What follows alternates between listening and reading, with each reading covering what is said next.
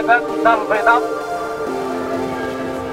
مشروع ديال صفقة الطرد كما كتعرفوا هو مشروع لبيع فلسطين بالجملة وليس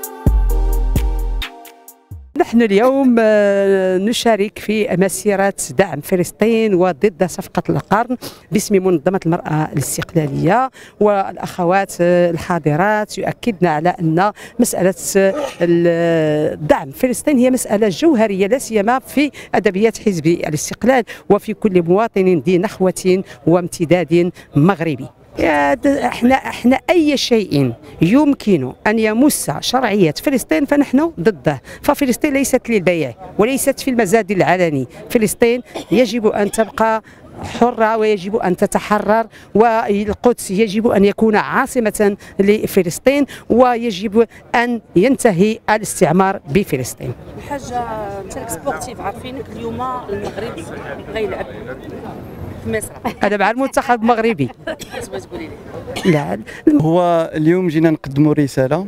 الرسالة وهي كالتالي نعتبر بأن القضية الفلسطينية هي قضية ملك وشعب هي قضية آه، أولا آه، الفلسطينيين وهي قضية آه، حق. وهي آه، قضية آه، وجدانية بالنسبة لنا بالنسبة للمغاربة بالنسبة للأمة العربية وبالنسبة للأمة الإسلامية. ويمكن الاعتبار بأنها هي كذلك آه، وجدانية بالنسبة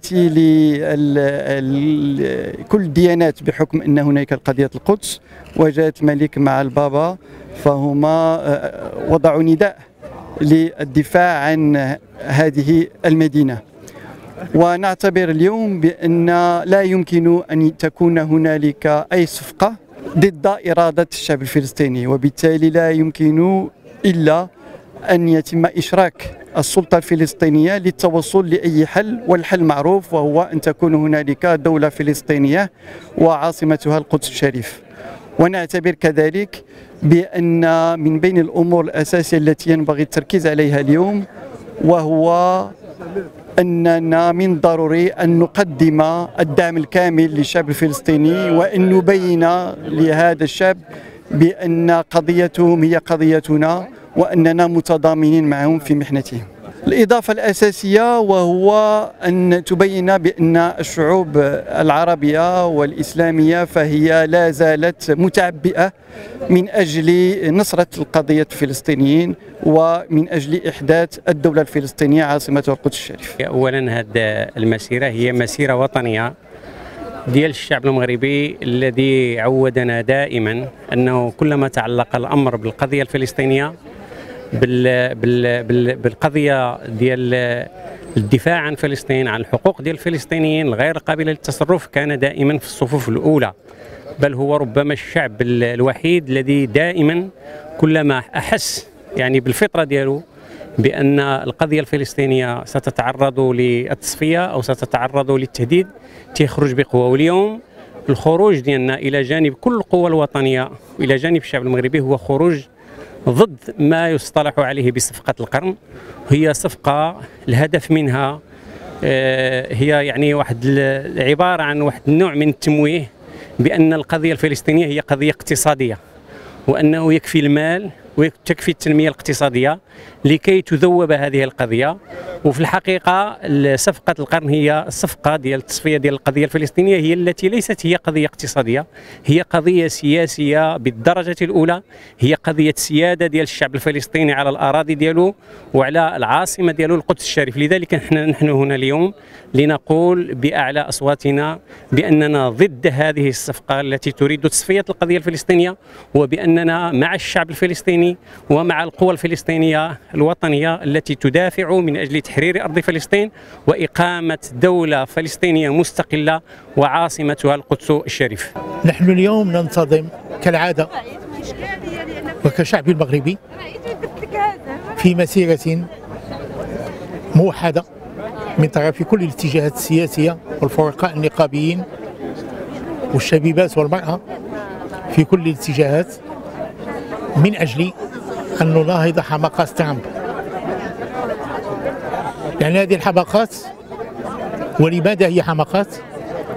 لأن هذا الرجل تنكر لكل المقررات الدولية ولكل ما اكتسبه الشعب الفلسطيني بنضاله من أجل أن يكون عضوا دائما آه، مراقب في الأمم المتحدة ومن أجل أن يكون عضوا في جميع المنظمات الدولية التابعة للأمم المتحدة هذا الرجل باتفاق بأمر من نتنياهو وبأمر من اللب الصهيوني الموجود في الولايات المتحدة الأمريكية الإيباك وكذلك المنظمات المسيحية الصهيونية الموجودة في الولايات المتحدة الأمريكية والتي يعتبرها التي هي التي بوأته من أجل أن يكون رئيسا للولايات المتحدة الأمريكية لينفذ لينفذ تعاليم الصهيونية تعاليم الصهيونية هذا الأمر نحن نعتقد أن هذا الرجل يقول إسرائيل آه، القدس عاصمة إسرائيل. يقول أن الجولان هي تابعة للسيادة الإسرائيلية.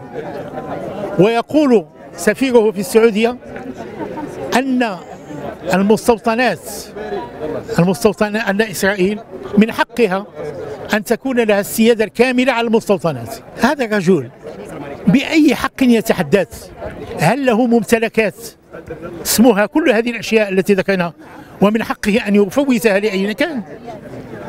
بينما الأمم المتحدة ومقرراتها يجب أن نقول لترامب شيئا واحدا هو أن القرار ديال التقسيم. رقم 181 القاضي بتقسيم فلسطين نحن أيضا لا نعتبره لأنه مقرر ديال الأمم المتحدة والأمم المتحدة هي التي أقامت التقسيم. إذا انتهى هذاك المقرر تخصو يزيدوا المقررات اللي, اللي باغي ولماذا لا نقول أن الضحايا من موتى أطفال ونساء وشباب فلسطيني يسقط كل يوم؟ وهو أكثر صمودا وثباتا من أجل دولته المستقلة وعاصمته القدس. هو أكثر إيمانا من الذين تزهق روحهم أو يرموا بأطفال. المسيرات هي تضامن مطلق مع هؤلاء الذين يموتون. أن الشعوب العربية والإسلامية أنه معه ونحن وهم يعتزون بمواقف الشعب المغربي وبحضوره الدائم من أجل مناصرة القضية الفلسطينية. نحن مستعدين مستعدون ملكا وحكومة وشعبا.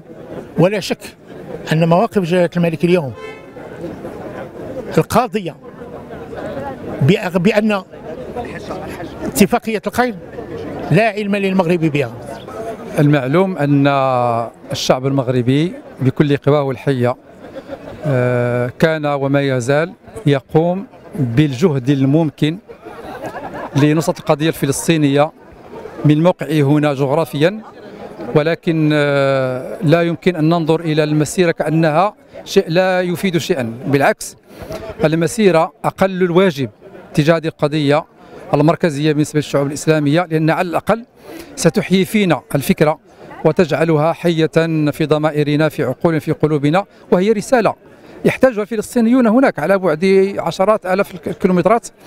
ولكن المهم اليوم المسيرة هي فرصة لكي نجدد التضامن المغربي الإجماعي على هذه القضية ولكي آه، نحيي الصمود الفلسطيني وصمود المقدسيين ولكي نجدد مواقفنا الثابتة والراسخة رسميا وشعبيا على رفض كل المناورات التي تستهدف القضية الفلسطينية سواء تعلق الأمر بالمساس بالقدس ووضعه القانوني سواء تعلق الأمر بالسعي للحيلولة دون رجوع اللاجئين استدامة الاستيطان بالقطاع آه، السعي ل آه، يعني فرض الشرعية باحتلال الإسرائيلي لبعض البلدان بعض البلدان العربية. يعني السيطرة على المقدسات الإسلامية والمسيحية وغيرها من القضايا التي نرفضها جميعا مما يعني يتحدث الإعلام اليوم على أنها من مكونات صفقه القرن المشؤومة. إن كانت صفقتنا هي هذه فنحن نرفضها جملة وتفصيلا. المغاربه في هذا متفقون مجمعون ونقوم اليوم مرة أخرى بهذا الواجب ويعني الحمد لله أن المغرب كما يشهد له في العالم يقوم بدور كبير جدا بقيادة جلالة الملك. فاليوم هذه فرصة لكي نجدد العهد على هذه على هذا الدعم وعلى هذه المساندة. الذي يجمع المغاربة أكثر مما يفرقهم سواء في القضايا المحلية الوطنية. لكن القضية الفلسطينية هي من أم القضايا التي تجمع المغاربة الحمد لله ليس بينهم اختلاف إطلاقا سواء تعلق أمر بالمواقف الرسمية أو المواقف الشعبية من أحزاب سياسية وجمعيات ونقابات. الحمد لله هذه نعمة من الله وهذه نقطة قوة لهذه القضية. والحمد لله نحن نعتز بتقدير إخواننا الفلسطينيين للموقف المغربي. فلذلك هذا الإجماع بين الأحزاب والنقابات والجمعيات هذا هذه مطار اعتزازنا ويجب أن نستمر في هذا يعني خلافاتنا في الشأن المحلي تصرف في قنواتها ولكن هذه القضية أكبر وتعلو على كل القضايا الأخرى. الشعب المغربي اليوم آه، يخرج في هذه المسيرة الرمزية آه، بمناسبة آه، ورشة البحرين التي ستنعقد خلال يومين. هذه الورشة التي س يعني رفضها الشعب المعني، الشعب الفلسطيني رفضها بكل أطيافه سواء السلطة الفلسطينية أو الحركة المقاومة الإسلامية حماس أو الجهاد الإسلامي. اليوم الشعب الفلسطيني كله مجمع على رفض هذه الورشة لأنها لا تعترف بحقوق الشعب الفلسطيني. وبالتالي نحن اليوم بالشعب المغربي بقواه السياسية والنقابية والمجتمع المدني هذه مسيرة تعبر على وقفة الشعب المغربي الذي ما يعني طول السنوات الماضية منذ الاحتلال إلى اليوم دائما الشعب المغربي يقف مع الشعب الفلسطيني من أجل عودة اللاجئين من أجل نيل حقوقه كاملة من أجل أن ينال الشعب الفلسطيني دولته وعاصمته القدس من أجل كذلك أن يعني أن تطبق جميع القرارات الدولية التي اعترفت سواء مجلس الأمن الدولي أو كذلك منظمة الأمم المتحدة في حين يأتي ترامب اليوم في آخر لحظة. ويقول سأعطي القدس لإسرائيل سأعطي الجولان لإسرائيل مخالفا المسار القانوني للمنظمات الدولية وللأمم المتحدة. وهذا ما نستنكره جميعا اليوم المغرب المغاربة اليوم بكل أطيافهم اليوم كل تلويناته اليوم السياسية. يسارية يعني أحزاب إسلامية كل أطياف اليوم تعبر تعبيرا واحدا عن رفضها لهذه الورشة التي يرفضها الشعب الفلسطيني. هذه المسيرة إن شاء الله. فلسطين إن شاء الله القدس إن شاء الله القدس. ما, ما كان نصلي في القدس. كان نشوف القدس نصلي فيه. لا إله إلا الله. الله. الله ينصر المسلمين. الله ينصر المسلمين. أنا واحد من المواطنين المغاربه جيت لهنايا كنعبر بالصوت ديالي. على التهمم ديالنا بهذه القضية الفلسطينية وكنرفضوا هذا الرفض القاطع لهذا الصفقة ديال القرن. فلسطين عربية وغتبقى عربية وفلسطين إسلامية وفلسطين أرض السلام. وهذا الشيء اللي بغاو يديروا في فلسطين فهو رمز للاستبداد. هذه الصفقة هذه هي كتخذل الشعوب. المسيرة كتعود على صوت الشعب. الشعب المغربي دائما كانوا مع الرئيس مرسي فهو رئيس مدني منتخب كان نظام قالب عليه. الصلاه والسلام. فإذا إحنا معه أنا أشعر بالفخر والاعتزاز بهذه المسيرة العظيمة التي خرجت تمثل عن الشعب المغربي. بكل أحزابه بكل جمعيات المجتمع المدني بالقرب من البرلمان يخرجوا ليقولوا لا للصفقة تصفية القضية الفلسطينية. ونعم للقدس عاصمة للدولة الفلسطينية. هذا يعطينا شعور أننا لسنا وحدنا في المعركة وإنما معنا عمقنا العربي والإسلامي والدليل أن الشعب المغربي بكل مستوياته من جلالة الملك رئيس لجنة القدس إلى الأحزاب إلى الحكومة إلى الشارع المغربي إلى كل مواطن مغربي يرفع صوته اليوم ويرفع العلم الفلسطيني ويرفع شعار أن القدس عاصمة للدولة الفلسطينية. هذه رسالة مهمة لنا تطمئننا أن المستقبل سيكون لنا ولا يصح إلا صحيح إن شاء الله.